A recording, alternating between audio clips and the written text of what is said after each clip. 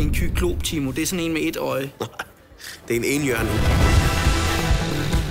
Jamen, så er vi i gang. Det er alle for to. Det er en toer, og derfor skal der selvfølgelig skrues op. For den skal både være bedre, den skal være større, og så skal den frem for alt være sjovere. Det var lidt mere, end jeg troede. Jeg vælger jo ligesom Tom Cruise at, at, at gøre tingene selv.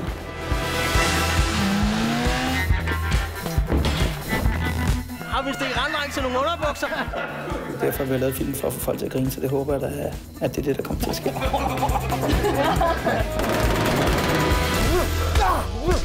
En hest har da ikke negl. Jamen, det har de sgu da, ellers vil de da slå poterne. Der har jeg faktisk hørt om.